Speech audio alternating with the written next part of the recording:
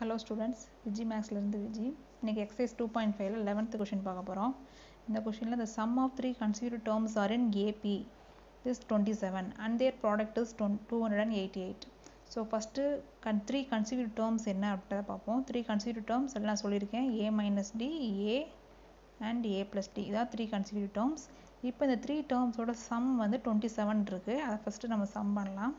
So a minus d plus a plus a plus d that is is equal to 27 so minus d plus d cancel ஆயிரும் so remaining இருக்கிறது 3a equal to 27 so a equal to 27 by 3 that is a equal to nine so a வந்து நமக்கு நைன்னு கிடச்சிருக்கு so இப்போ next ப்ராடக்டை வச்சு நம்ம D fine பண்ணலாம்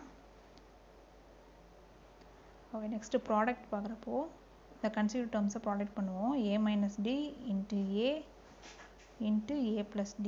That is equal to 288 இப்போ நமக்கு ஏ என்னன்னு தெரியும். அதை அப்படியே சப்ஸ்டியூட் பண்ணலாம். இப்போ nine minus d nine nine plus d it is equal to two hundred and eighty eight நமக்கு ஆல்ரெடி ஒரு ஃபார்முலா தெரியும்.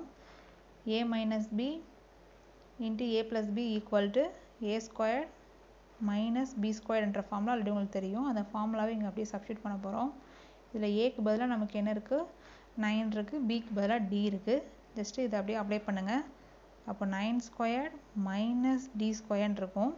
இங்கே சென்டரில் இருக்கிற இந்த நைன் வந்து நமக்கு அந்த பக்கம் போயிடும் போச்சுன்னா டிவிஷனில் போயிடும் சப்போ two hundred and eighty eight divide by nine இப்போ இதை கேன்சல் பண்ணோம் அப்படின்னா நமக்கு என்ன கிடைக்கும்னா தேர்ட்டி டூன்னு கிடைக்கும்.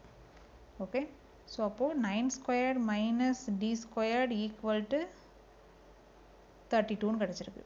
ஓகே ஸோ இப்போ வந்து இந்த டி ஸ்கொயர்டை நம்ம அந்த பக்கம் கொண்டு போகலாம் தேர்ட்டி டூவை நம்ம இங்கிட்ட ஈக்குவலுக்கு இந்த பக்கம் நம்பர்ஸ் எல்லாம் ஒரு சைடு டேர்ம்ஸ் எல்லாம் ஒரு சைடு கொண்டு போயிடலாம் கொண்டு போனோம் அப்படின்னா டி ஸ்கொயர்டு ஈக்குவல் டு இந்த நைன் ஸ்கொயர்டு எயிட்டி ஒன் ஆயிரும். Eighty one minus thirty two so d squared is eighty one minus thirty two வந்து ஃபார்ட்டி நைன் ஓகே ஸோ இந்த ஃபார்ட்டி நைனை நம்ம ஸ்கொயர் பண்ணுறப்ப நமக்கு என்ன கிடைக்கும்? D equal to plus or minus seven கிடைக்கும். இப்போ நமக்கு ஆல்ரெடி ஏ என்ன கிடச்சிருக்கு?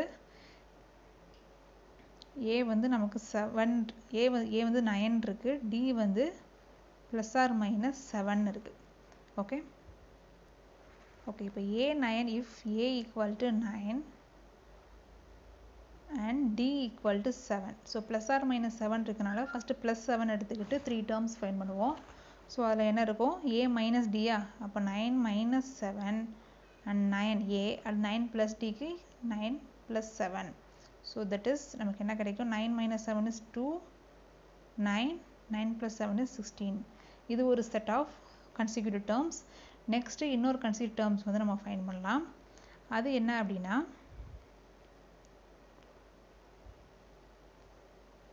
ஏ வந்து நயன் டி வந்து மைனஸ் செவன் ஸோ இப்போ same like this 9 minus of minus 7 and then 9 again 9 plus bracketல minus 7 okay?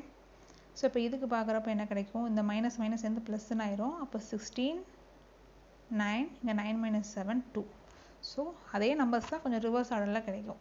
So three கன்சிடியூட் terms நம்ம ரெண்டு கேஸ்லேயும் பார்த்துட்டோம். இங்கே நமக்கு அந்த கன்சிடியூட் டேர்ம்ஸ் தான் என்னென்னு கொஷின் கேட்டிருக்காங்க. அதோட அவ்வளோதான் ஓகே தேங்க்யூ ஸ்டூடெண்ட்ஸ்